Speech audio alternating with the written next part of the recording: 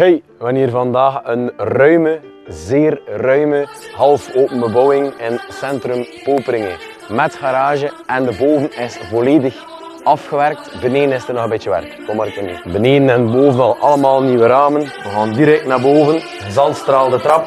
Het is al in beton, dus het is stiefklok gebouwd. Overal nieuwe vloeren. De eerste kinderkamer. Een magnifiek afgewerkte badkamer met douche en bad. Wanneer dan een ruime tweepersoonskamer, schone authentieke deuren en een apart toilet. En hierboven hebben we een master bedroom, nieuwe vloer, op maat gemaakte kastjes, schoon authentiek plafondje. Magnifiek dat hè. En we gaan nog naar beneden naar de reusachtige hof. Voilà ze. Wanneer een regenput van 30 liter en een magnifiek nof. Buk aan voor. Zo zeggen. Heb je interesse in deze woning en wens je de beneden nog zelf af te werken? Bel ons snel.